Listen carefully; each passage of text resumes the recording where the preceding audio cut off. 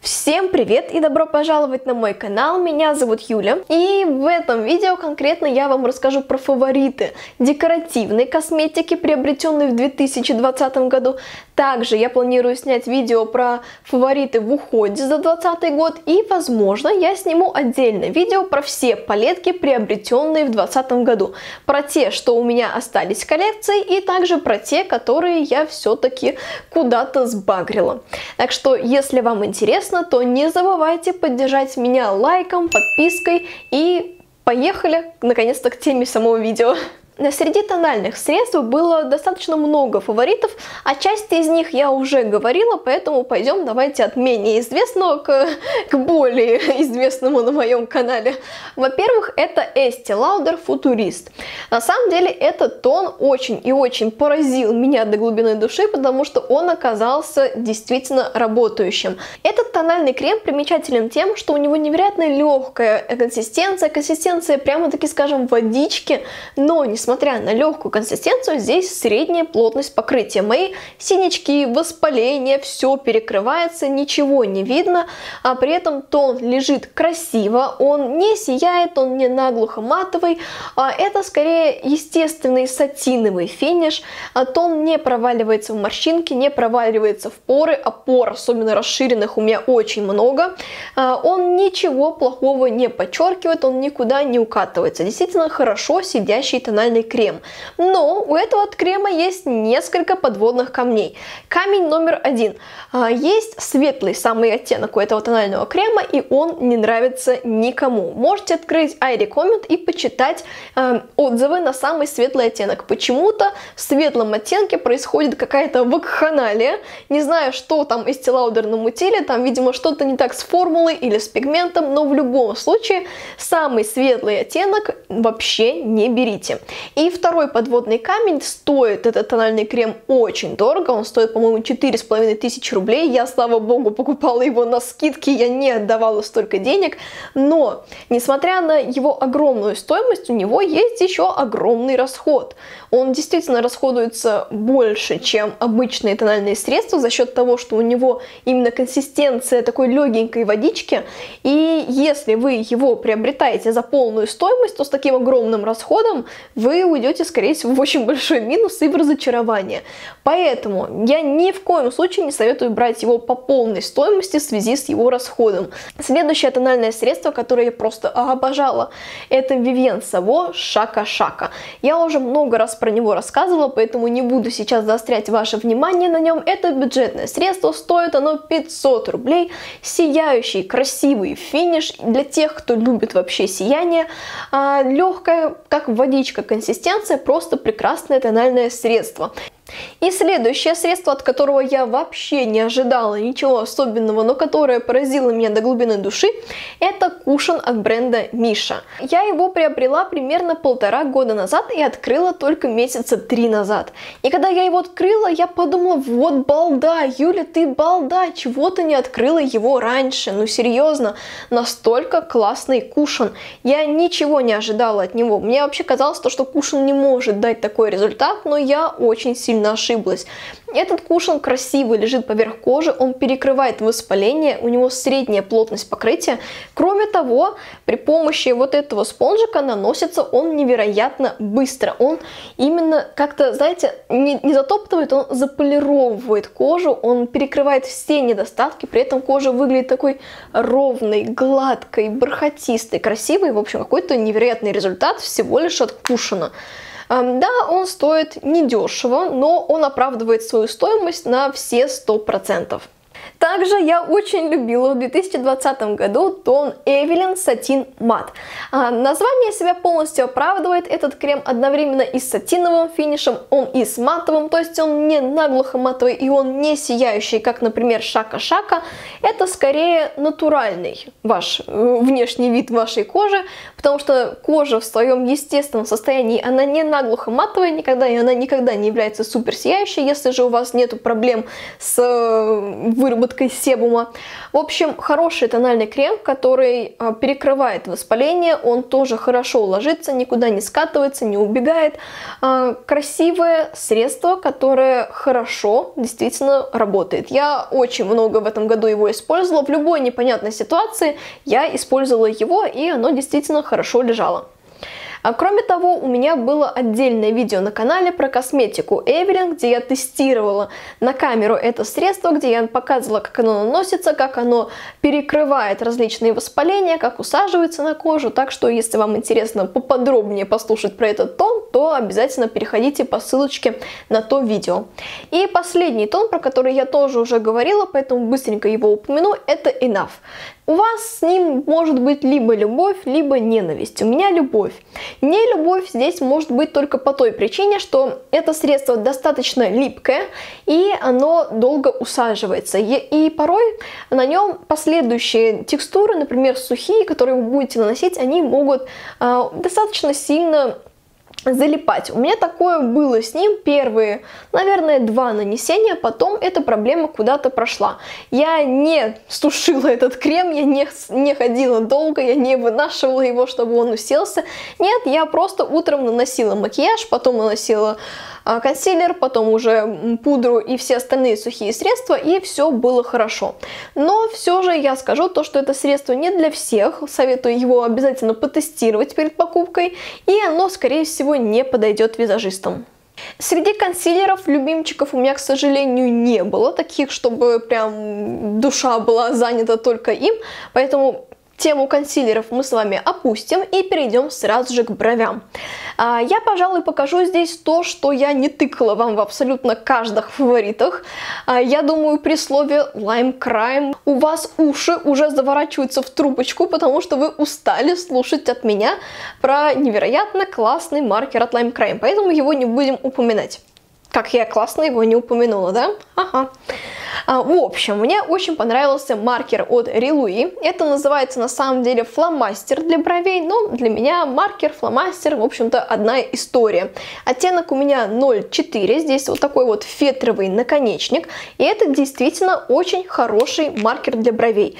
А, что важно? Во-первых, а, тоненькие линии, во-вторых, красивые, достаточно пигментированные линии, чтобы сделать брови, даже плешивые, нормальными и красивыми, что очень важно, потому что у меня как раз таки такие дурацкие брови.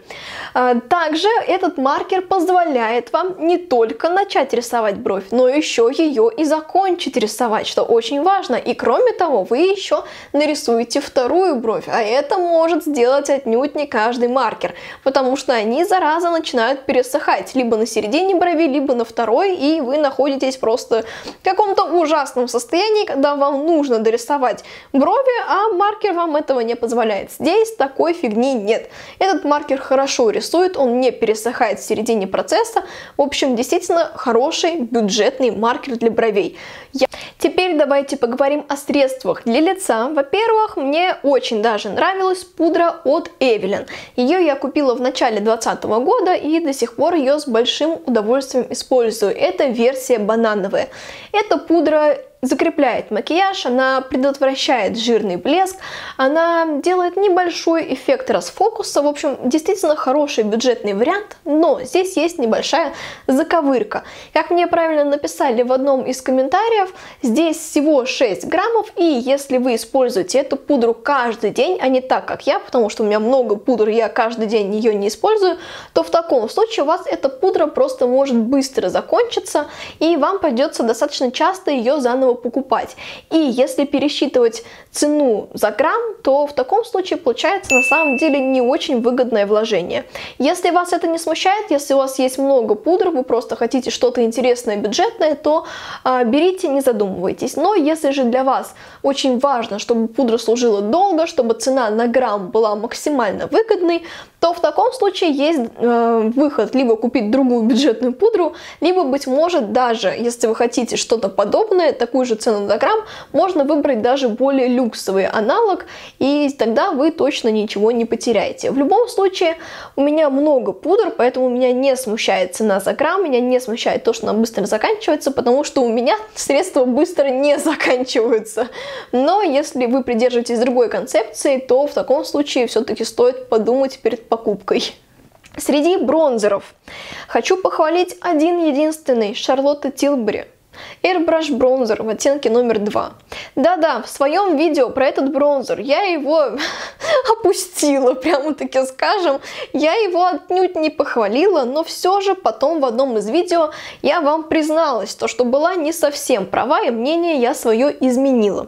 А, не знаю, с чем это связано, потому что этот бронзер невероятно дорогой, он большой, он не делает ничего особенного, да, он красиво выглядит, он классно растушевывается, он хорошо работает, но то же самое делает множество других бронзеров, в том числе Physicians Formula Butter Bronzer, но при этом стоит дешевле. И как бы казалось бы, чем этот бронзер выигрывает в отношении других? Да ничем.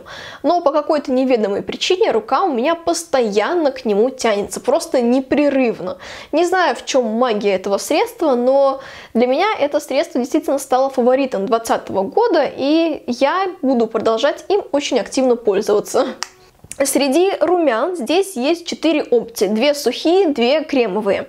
А, первая сухая опция это Charlotte Tilbury, оттенок Pillow Talk. Несмотря на то, что я в свое время эти румяна тоже не похвалила, отнюдь не похвалила, но я потихонечку изменила свое мнение.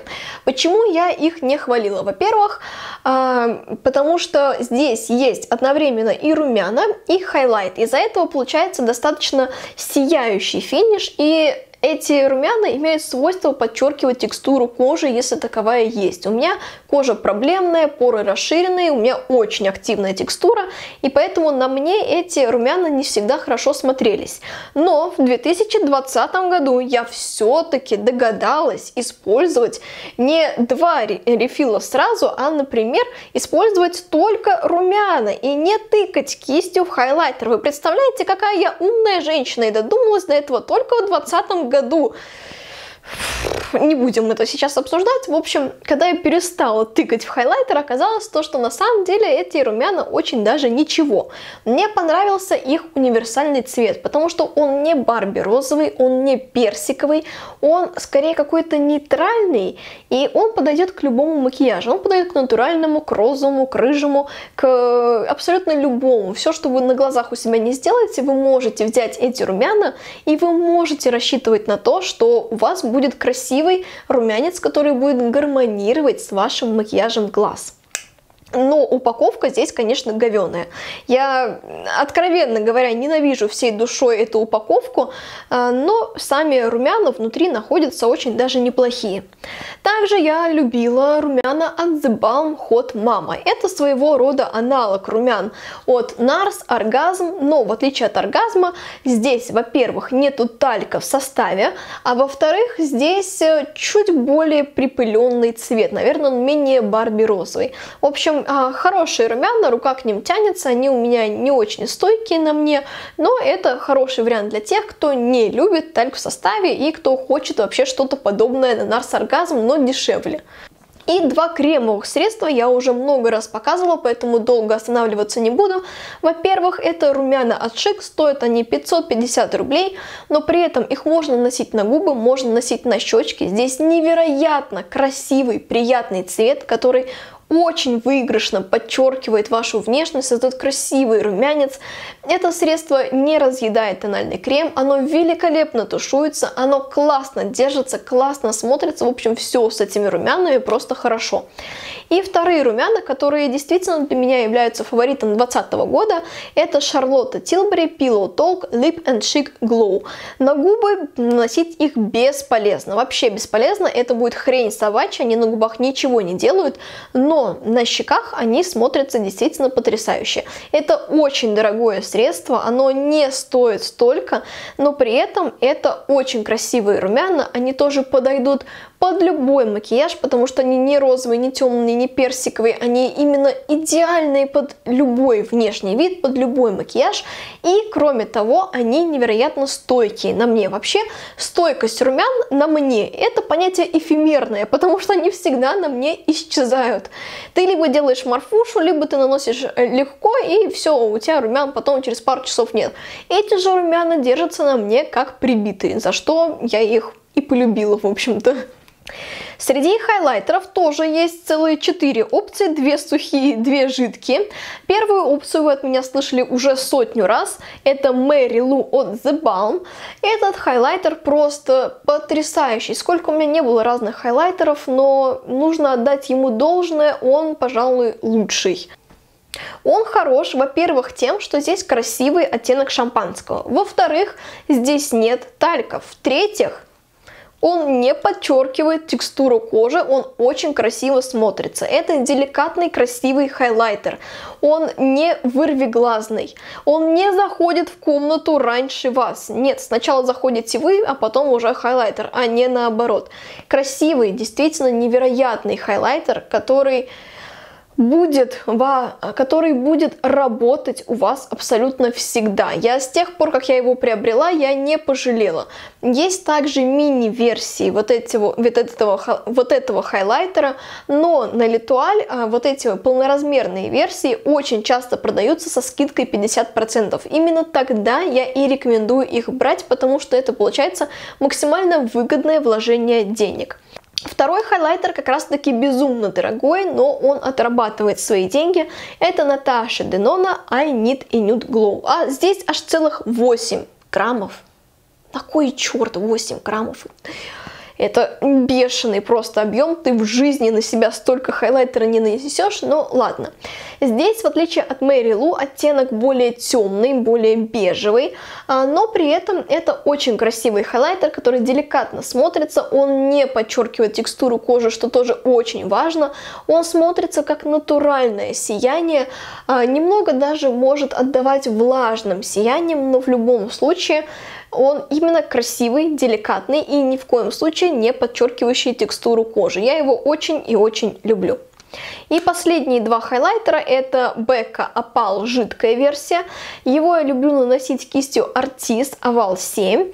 И также хайлайтер, который я наконец-то все-таки распробовала, это Lux Visage. Я это средство не сразу полюбила, признаюсь сразу. Не любила я его в основном потому, что я его распределяла по зоне хайлайтера при помощи кисти. И кисть забирала в себя очень много, и забирала в себя и сияние, и все остальное. И смотрелось потом, ну, не очень, как будто бы особого хайлайтера и нет. Но только в 2020 году, опять-таки, крайне умная женщина э, догадалась все-таки использовать его не при помощи кисти, а при помощи пальца. Да-да, мои умственные способности в этом году мы не обсуждаем, давайте. А, но когда я стала использовать палец, оказалось то, что это очень красивый хайлайтер. Его нужно не легонечко нанести и потом пальчиком буквально вот так вот вбить, распределить. Тогда это получается как очень красивый нежный хайлайтер, который исходит из вашей кожи, который ни в коем случае не входит в комнату раньше вас. Это именно часть, такая сияющая часть вашей кожи. В общем, очень-очень красиво и натурально. Ну что ж, теперь настал черед поговорить о средствах для глаз. Эм, я все-таки покажу здесь несколько палеток теней, о которых я особенно сильно хочу вам рассказать, но вообще о палетках теней 2020 года я запланировала снять отдельное видео. Здесь я покажу только две. Во-первых, это Huda Beauty Naughty. Эту палетку я полюбила очень сильно. Несмотря на то, что она появилась у меня то ли в начале декабря, то ли в конце ноября, то есть уже под конец 2020 года, но все же моя душа успела к ней настолько сильно прикипеть, что я не могу ее тут не показать.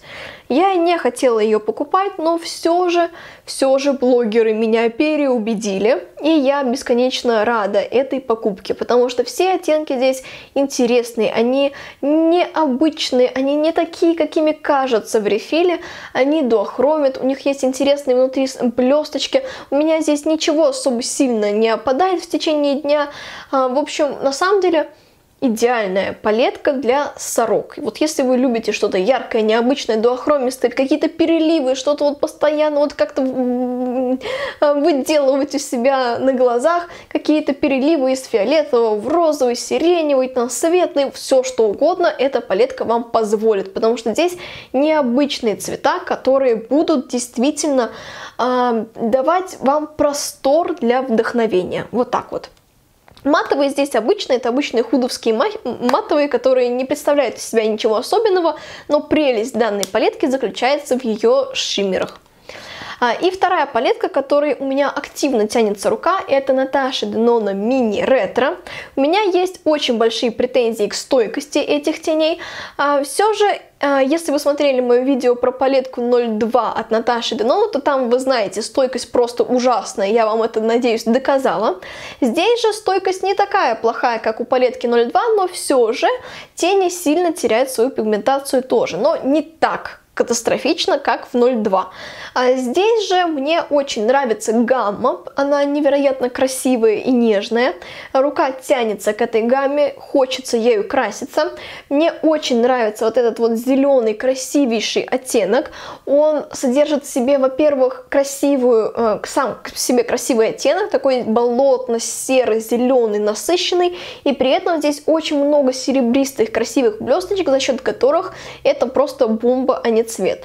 Здесь также очень приятный вот этот вот розовый, он не представляет из себя ничего особенного, но если поверх нанести вот этот спаркл, то становится тоже очень красиво за счет добавления очень ярких больших блесточек. В общем, а, палетка не идеальна, отнюдь не идеальна, есть большие претензии к ее качеству, но все же рука тянется и очень активно, поэтому она у меня отчасти фаворит 2020 года. Дальше давайте с вами поговорим о тушах. Я часть из них уже много раз показывала, поэтому очень быстро я по ним пробегусь, чтобы не тратить ваше время. А, Во-первых, это Кика Милана. Я уже рассказывала не раз свою историю любви и ненависти к этой туше. Обязательно оставлю здесь ссылочку на видео про фавориты осени, там вы можете послушать об этом поподробнее. Также очень любила весь год тушь от Evelyn Real Big Shock.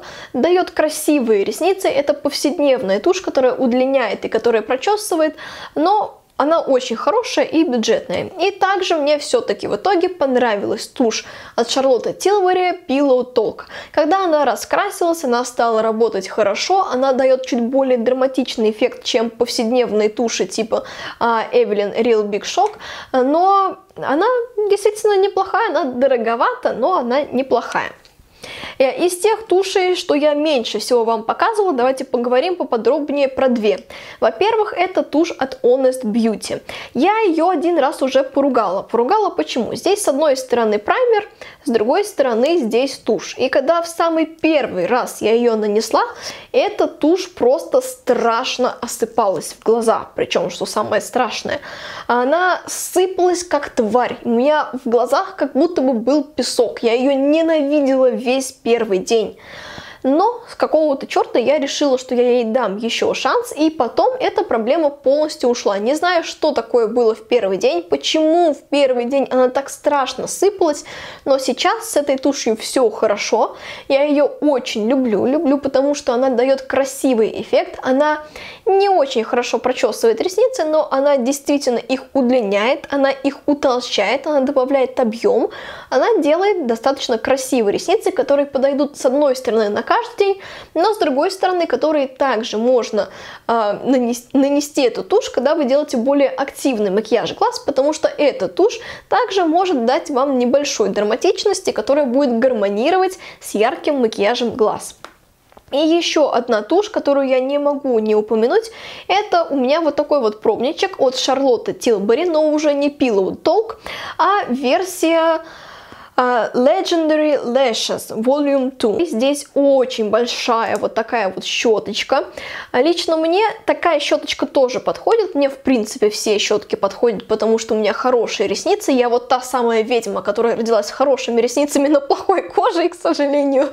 В общем, а, тушь мне очень понравилась, потому что она наносит много туши, но при этом она не склеивает ресницы. Она, она хорошо прочесывает ресницы, она их удлиняет.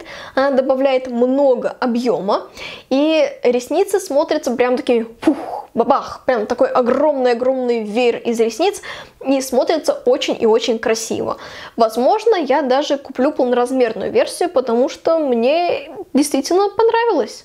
Чуть-чуть затрону также тему карандашей, я уже, в общем-то, про них рассказывала. Это э, карандаш Шарлотта Тилбери of No Shame, он более коричневый. Также это аналог карандаша от Шарлотты э, лайнер Virtuos Каял от бренда Vivienne Sabo, оттенок 03, он уже более винного цвета, и он лучше по формуле, потому что он э, дает вам время, чтобы вы взяли кисточку, чтобы вы вытянули тонкий кончик э, стрелочки, чтобы вы сделали ваш макияж идеальным. Эм, карандаш от Шарлотты вам не дает времени ни на раздумья, ни на вытягивание никаких кончиков, он просто сразу же нанесся, сразу же застыл и все. Здесь же э, более дружелюбная формула. Также мне очень нравился карандаш от Ламель, коричневый. Я его обожаю. Мягкий, хороший карандаш, бюджетно стоит, хорошо э, работает слизистый в межресничке. В плане э, стрелки тоже хорошо работает, просто идеальный карандаш. И последний карандаш, который любила в 2020 году, это карандаш Виктория Бекхэм. Ненавижу его стирать, просто терпеть не могу. Это какое-то издевательство над человеком. Стирать этот карандаш из межреснички, это просто отдельный вид пытки.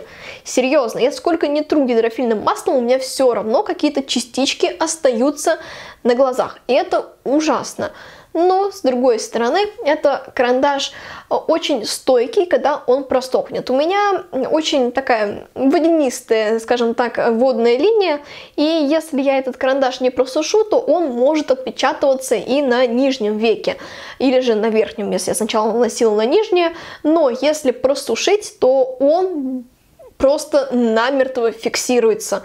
Рядом танк проедет, но этот карандаш не сдвинется с места. Вы его не поднимете, он никуда не денется, ничего с ним не случится. А, хороший, мягкий, но очень уж геморно его смывать. И последнее, что нам с вами нужно обсудить, это средства для губ. В 2020 году я особенно любила какие-то полупрозрачные средства, поэтому ярких помад вы сейчас для себя не найдете. И из того, что я до этого не часто показывала, хочу выделить несколько средств. Во-первых, это вот такой вот карандаш от бренда Honest Beauty. У меня это оттенок Blossom. Очень классный на самом деле карандаш, он полупрозрачный, у него очень красивый цвет, он не коричневый, он не рыжий, это что-то с одной стороны нюдовое, но то, что придает макияжу изюминку. Этот карандаш отлично подойдет также для девушек славянской внешности, не только для девушек типа как Джессика Альба.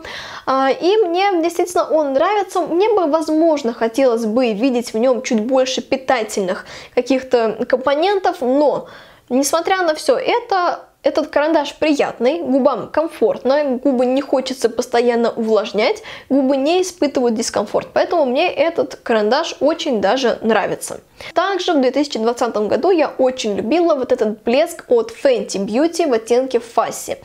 Он, во-первых, невероятно приятно пахнет какими-то леденцами, конфетками. В общем, его просто съесть хочется, настолько он приятный. Во-вторых, этот блеск очень красивого нежно-розового цвета. И здесь есть просто мельчайшие блесточки, которые придают вашим губам очень много внимания и эффекта. Это не крупные блестки. Они именно очень маленькие и незаметненькие, за счет чего смотрится этот блеск действительно хорошо.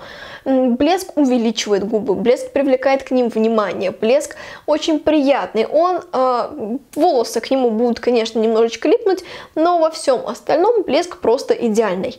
Я уже даже подумываю купить его в других оттенках, потому что он действительно очень и очень хорош.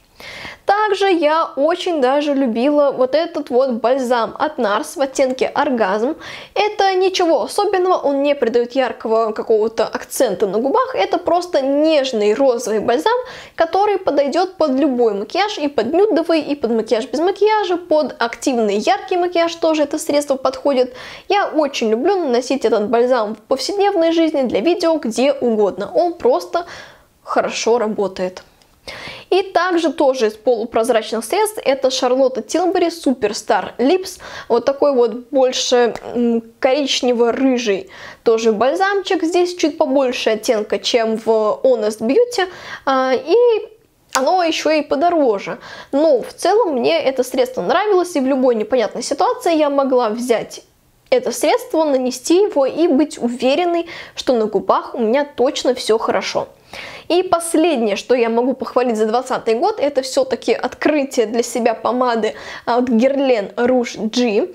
А, помада очень хорошая по формуле, она мягкая, нежная, кремовая, она держится на мне весь день. Я Могу обедать, могу завтракать, могу пить чаи, и все равно вечером я вижу эту помаду на себе, и она не сходит по-уродски, то есть когда у вас остается только контур, а посередине ничего. Она сходит именно а, постепенно и равномерно. А, не совсем понимаю, зачем здесь сделан такой футляр, потому что помада, как я сказала, достаточно стойкая, и носить ее с собой просто-напросто нету смысла, а, потому что вы не будете поправлять макияж. В таком случае просто такой большой чехол, который не влезает ни в один органайзер, просто теряет весь смысл. Но если вам все-таки нравятся такие чехлы, если вам нравится такая формула, то эта помада это хорошее приобретение. Ну что ж, это были все мои фавориты 2020 года. Если вы что-то из этого пробовали, то обязательно пишите об этом в комментариях, обменяемся с вами мнениями. Если вы хотите видео про фавориты уходовой косметики и также про палетки 2020 года, то тоже не забывайте писать об этом в комментариях. А я на этом буду с вами прощаться. Большое спасибо всем, кто досмотрел это видео до конца. Ставьте лайк, если оно вам понравилось, подписывайтесь на канал и всем пока! Пока-пока!